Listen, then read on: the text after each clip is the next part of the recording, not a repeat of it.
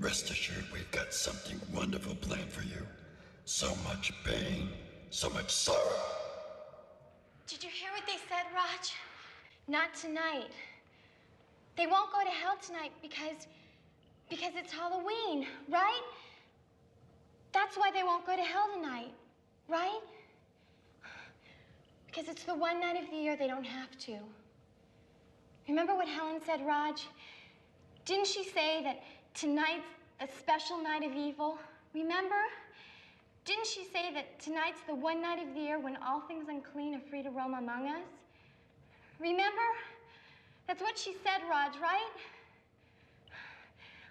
I think if we just hang out here until till dawn, we'll be all right. Yeah.